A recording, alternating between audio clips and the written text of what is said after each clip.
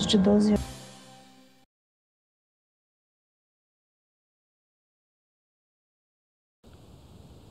Ministros do Supremo Tribunal Federal confirmam a extinção do Tribunal de Contas dos municípios do Ceará, que já havia sido aprovada na Assembleia Legislativa. Procon Assembleia vai às escolas conversar com os jovens sobre consumo consciente e educação financeira. Seminário debate a revisão da lei de promoções da Polícia Militar. Na terceira e última reportagem da série Fortaleza, um novo olhar, Veja como as praças e os parques da cidade estão sendo ocupados pela população. Agora no Jornal Assembleia.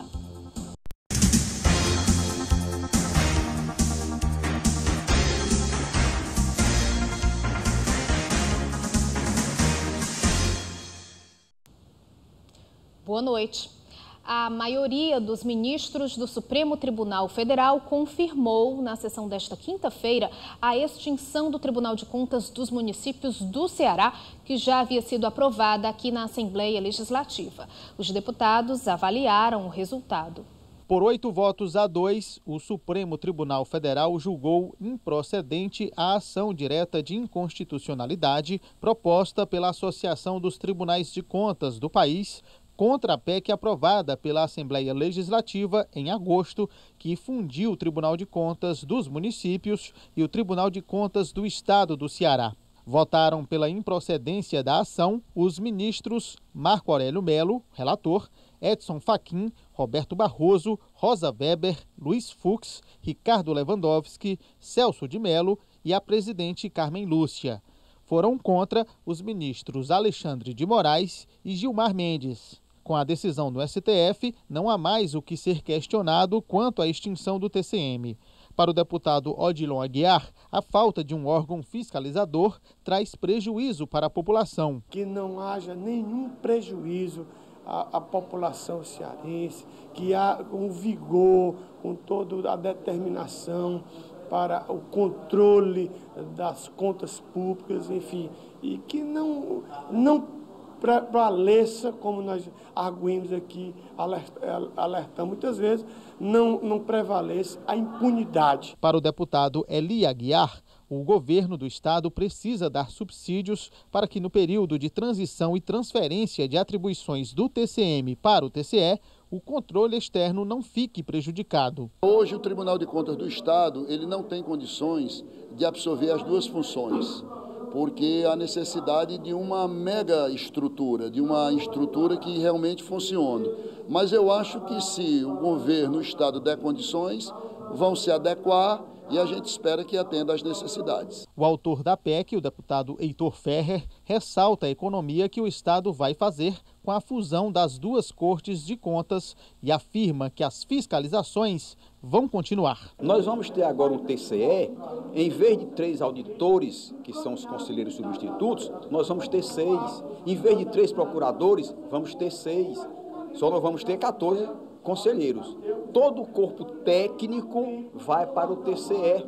Portanto, não haverá qualquer prejuízo no que diz respeito à fiscalização das prefeituras e câmaras municipais.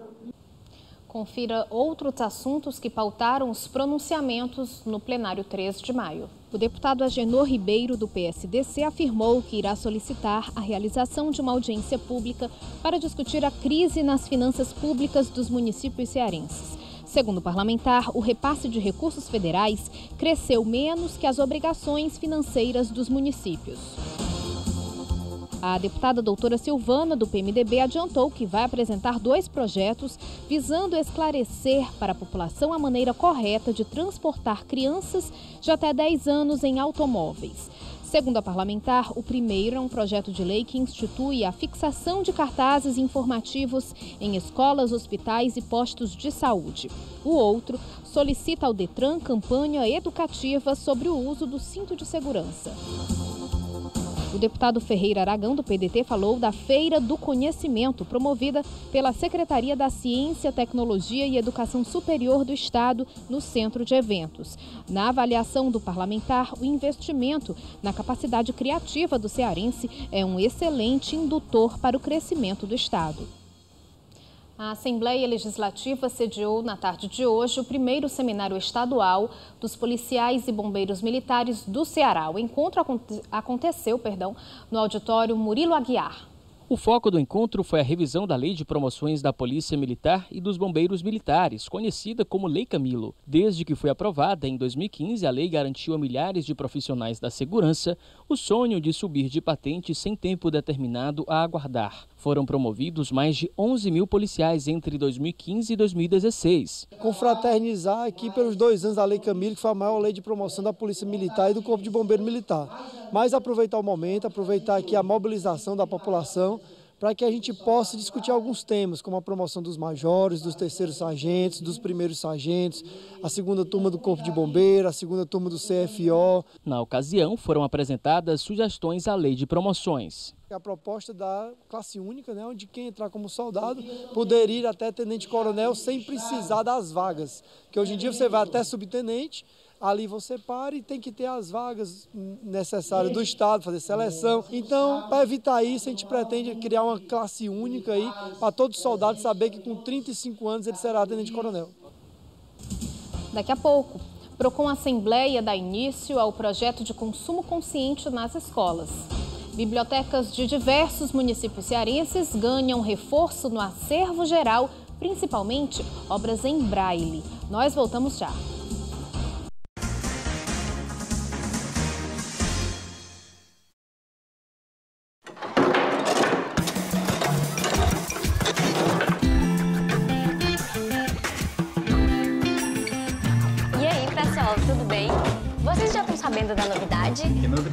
MEC vai implantar o Mediotech.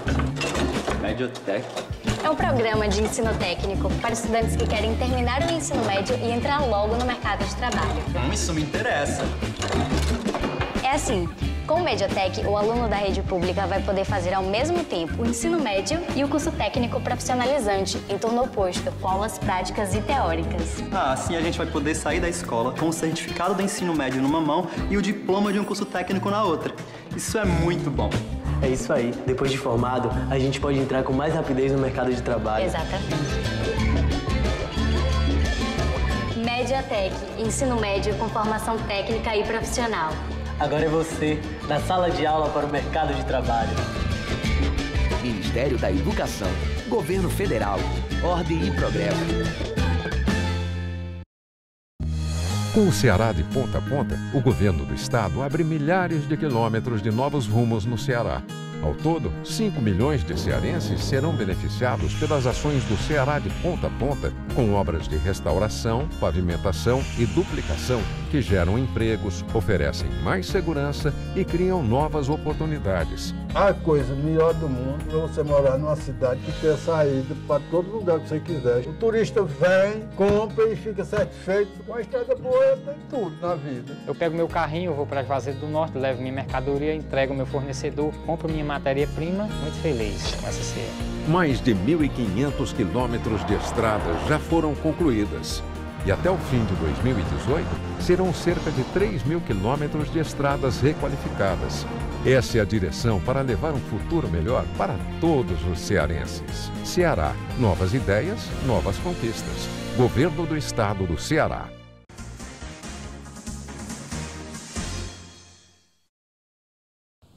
o Procon Assembleia vai às escolas para conversar com os jovens sobre conscientização financeira. O projeto teve início nesta terça-feira e pretende visitar semanalmente vários colégios em Fortaleza. Uma aula diferente para aprender a lidar com o dinheiro e com os direitos previstos no Código de Defesa do Consumidor. O projeto desenvolvido pelo Procon Assembleia leva conhecimento e informações aos alunos de escolas públicas e privadas. Jamile tem apenas 11 anos e sabe da importância de aprender coisas novas. Os ensinamentos serão repassados para toda a família. Eu adoro é, informações novas que eu posso levar para minha vida, que eu posso usar como dicas e curiosidades também que eu posso alertar a minha família para não acontecer isso. O presidente da Comissão de Defesa do Consumidor da Assembleia, deputado Fernando Hugo, conversou com os alunos e explicou que desde cedo é preciso conhecer os direitos consagrados pelo Código de Defesa do Consumidor. A partir da agora já buscarão resolutibilidade quando consumirem, quando forem usuários, seja de que forma e de modo for, lesados sendo, eles têm o direito já bem pensado na cabeça, metabolizado pelo tempo nesse aprendizado inicial que faremos hoje. A coordenadora do PROCON, Thelma Valéria, também trouxe algumas dicas que servirão para o futuro de cada um. A primeira delas é sobre economia e como lidar com o dinheiro. Para que desde cedo eles possam é, ter consciência de como lidar com o dinheiro e principalmente aprenderem a economizar, a pesquisar e não comprar produtos só porque está na propaganda na televisão, só porque a mídia está toda hora mostrando e incentivando o consumo. Camille escutou atentamente as explicações e aproveitou para tirar algumas dúvidas. A jovem de apenas 14 anos conta que aprendeu desde cedo a dar valor ao dinheiro e a não gastar com coisas fúteis. As pessoas têm que aprender a se controlar. Autocontrole é uma coisa muito importante. E esse discurso está sendo muito eficaz para hoje em dia os jovens entenderem de que dinheiro não é brincadeira, principalmente na crise política do Brasil, é importante que eles entendam que eles têm que ajudar os pais, não simplesmente causar mais dívidas. Bibliotecas de diversos municípios cearenses ganharam reforço no acervo geral e especialmente de obras em braille. A ação foi efetivada com recursos federais, fruto de convênio entre a União e o governo do estado. O programa entregou 28 mil livros. Ao todo, 53 municípios foram contemplados com o projeto de modernização e implementação do setor braille nas bibliotecas municipais do Ceará. Limoeiro do Norte foi um deles. Segundo o diretor do Instituto Municipal de Cultura do município, a iniciativa vai garantir uma maior acessibilidade e inclusão para os deficientes visuais. Até porque agora nós vamos trabalhar também com acessibilidade. É, os projetos das bibliotecas estão sendo pensados pela questão de rampas, né, de, de tradutores em Libras, de ter sempre alguém na coordenação da biblioteca com treinamento. No Ceará, existem 203 bibliotecas públicas e 120 comunitárias. O projeto abrange informatização de acervo, compra de equipamentos e capacitações para os servidores. Também foram enviados livros de literatura infantil e cearense com o objetivo de atualizar o acervo. É uma ação que foi 53 municípios, nem todos vão receber os equipamentos, mas o acervo são para as 184 bibliotecas públicas, onde nós estamos começando com a região Centro-Sul, Jaguaribe e Sertão Central. O secretário de Cultura do Estado do Ceará destacou a importância da parceria com o Ministério da Cultura. De acordo com ele, essa associação permite democratizar o acesso aos livros e fortalece as bibliotecas municipais. A democratização do acesso ao livro e a formação de leitores é uma corresponsabilidade do poder público, nos seus entes, né, União, Estado e município, mas também da sociedade civil. As pessoas têm que perceber a importância que é a biblioteca municipal para o desenvolvimento local, para o acesso à informação, para o acesso ao conhecimento. A seguir, a última reportagem da série Fortaleza, um novo olhar. Veja como os fortalezenses ocuparam praças e parques da cidade.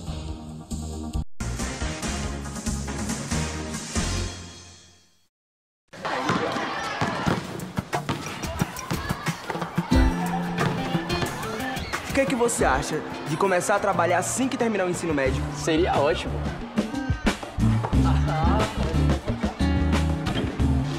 Mas é muito difícil, porque a gente tem que se preparar antes, fazer um curso, né? Nada disso! O MEC vai implantar o MedioTech, um programa com ensino técnico para quem quer terminar o ensino médio e ir direto para o mercado de trabalho. Aê, garoto!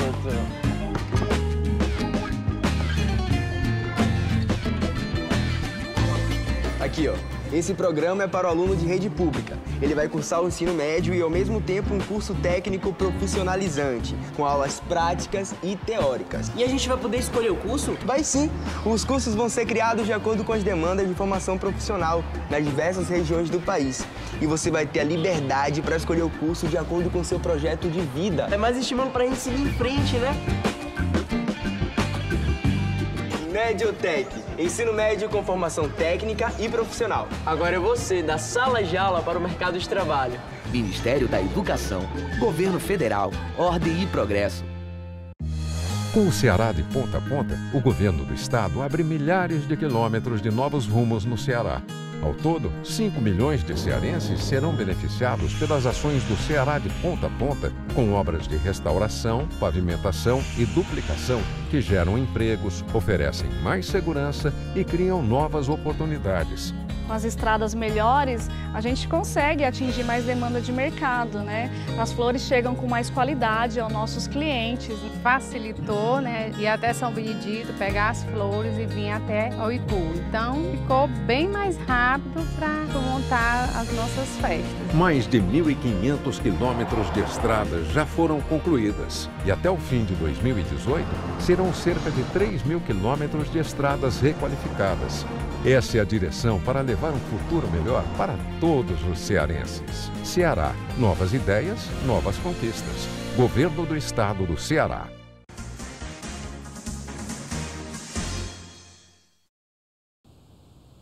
Ocupar praças e parques tem motivado fortalezenses a sentir a cidade de uma forma mais criativa. E não é só usar o espaço público, é se apropriar dele, sentir-se dono, cuidar. Na última matéria da série Fortaleza, um novo olhar, histórias de moradores da capital que decidiram usar praças e parques da cidade.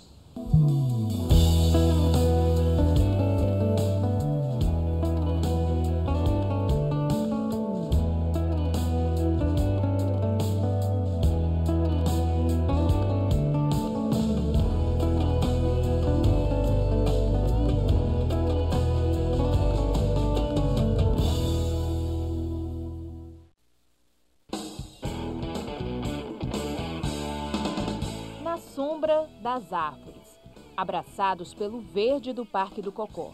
É no convívio cidadão e solidário que fortalezenses redesenham a paisagem da cidade e ocupam, de forma criativa, espaços que antes eram quase vazios.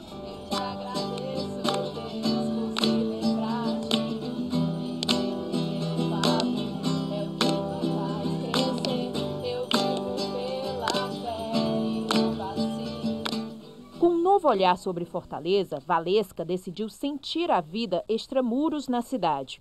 É a segunda vez que está no Parque do Cocó, mas o sentimento de bem-estar vivenciado no lugar a motivou a comemorar o aniversário de 19 anos em um ambiente ainda novo para ela. Tranquilidade e também por ter esse contato, assim, sabe que vem só família para cá e também tem outras coisas para você se divertir. Muito diferente de você ir para um shopping que tem ali muita gente perto de você. O contato direto com a natureza é um dos principais atrativos do local. A beleza natural se torna o cenário perfeito para festas. É só chegar, se acomodar e aproveitar o espaço. Tranquilo, família pode ficar à vontade, as crianças correrem. Pensei um pouco nisso, né, para ficar um clima bem legal, um piqueniquezinho. Ficou feliz de fazer aqui? Ai, demais, amei, pretendo vir de novo. Regulamentado em 2017, o Parque do Cocó vivencia um processo de revitalização com o projeto Viva o Parque, instalado em novembro de 2016. A oferta de atividades gratuitas de lazer é o convite para o fortalezense usar o espaço. Eu acho maravilhoso, uma energia boa, um clima bom. O que, que você mais gosta de fazer aqui no Parque do Coco? Pular corda, correr, brincar, essas coisas. Eu gosto de jogar bola. Nós criamos condições para a população ocupar. Então, se você tem uma academia, você tem um parquinho, você tem um bom calçadão, e isso faz com arvorismo, isso faz com que a população ocupe os espaços. E onde há gente ocupando, dificilmente haverá marginais é, próximos a essa área. Uma ocupação ativa do espaço público, de redescoberta da cidade pelo cidadão. Para esta arquiteta, a capital vivencia a crescente presença das pessoas no ambiente urbano, o que pressiona o poder público a se preocupar também em requalificar os espaços. Quando as pessoas se reúnem né, e decidem reocupar um espaço e se encontrar e dar outros significados para esse espaço, é, é, eu acho que há de se apoiar, né? há de se enxergar isso as pessoas vão continuar fazendo por elas mesmas, mas eu acho que sempre é uma repercussão onde o poder público reconhece essas práticas e acaba por apoiar né, e incentivar. E não é só usar os espaços públicos, é se sentir dono, cuidar. Foi esse sentimento que motivou a Associação dos Moradores, a Amigos, a adotar a Praça Martins Dourado no bairro Cocó. O carinho dos moradores está nos detalhes, num ambiente bem cuidado. O parquinho é o destino de todas as tardes de Miguel. Essa praça aqui ela é muito organizada, né? Você tem bastante criança, né? A gente ajuda a manter a praça. Todo mundo se conhece, acaba se conhecendo. E essa parte do lazer deles é só para criança, não pode entrar cachorro, então pode tirar o sapato, chinelo, brincar com areia, né? Que é bem limpa. Nós somos objetos de consultas para várias outras praças de Fortaleza. Se aqui deu certo, por que não em outros lugares, né? O banco da praça substitui a cadeira na calçada de casa que Gardênia costumava usar quando morava no interior. A praça para mim é uma terapia, porque eu moro só. Aqui a gente paquera, aqui a gente leva é, briga, aqui a gente discute, faz as pazes elogia. e quando é possível aliar o contato com a natureza e a prática de atividade física? Zeneida todos os dias está na praça, uma persistência que não conseguiu nas academias tradicionais. Estar ao ar livre a motiva a cuidar da saúde. Aqui, não, tudo arborizado, tem uns pássaros cantando, tudo isso faz uma terapia, né? Mental também. A Praça Martins Dourado é um dos locais adotados em Fortaleza. São 127 espaços públicos adotados e revitalizados. Dentre eles, 84 praças, 22 áreas verdes, 12 canteiros, três jardins, duas rotatórias, três ruas e um largo. A responsabilidade da Selma é supervisionar e gerir os processos de adoção, além de aprovar os projetos de reforma e construção. Após a assinatura do termo de cooperação, o adotante será o responsável pela manutenção e reforma do local. O programa de adoção de espaços públicos, ele trabalha com o voluntariado do fortalezense, é, fazendo com que ele pense que, recuperando esses espaços, mantendo esses espaços, ou seja, adotando, é, ele possa ter um contato maior com a cidade.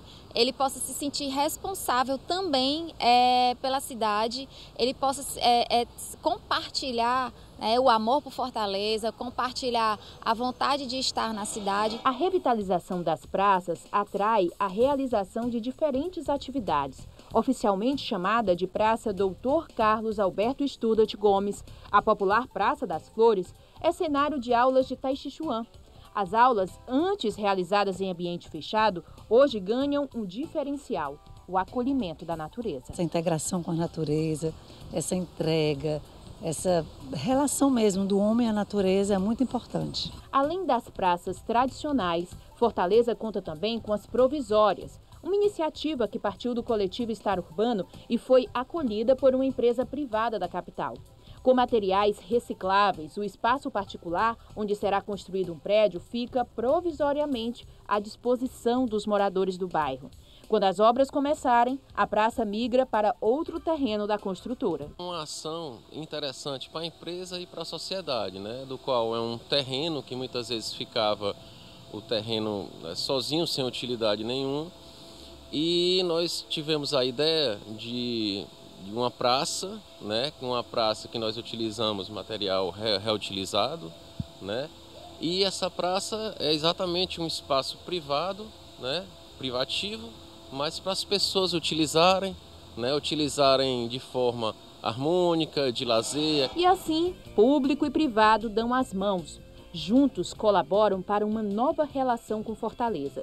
No livro sobre afetividade nos espaços públicos, a pesquisadora da Universidade Federal do Ceará explica que é no ato de sair às ruas, de se apropriar de praças e parques, que a sensação de insegurança dos moradores é reduzida. A praça é uma forma de apropriação do espaço público, onde há a possibilidade de trocas e a convivência com o diferente. É você estar sentado numa praça, sentar uma pessoa do seu lado e você poder puxar uma conversa e se sentir próximo daquela pessoa diferente de você se sentir ameaçado. A pesquisa reforça ainda que é na democratização dos espaços públicos que o indivíduo se apropria e assume o sentimento de pertencer à cidade.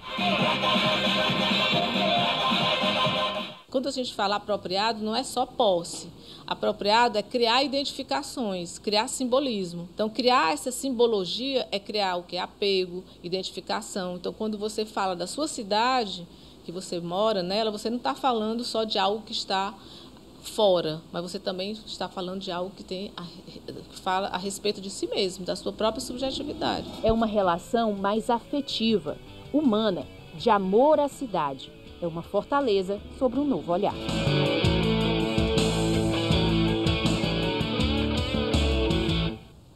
O Jornal Assembleia fica por aqui. Um ótimo fim de semana para você. Até segunda-feira.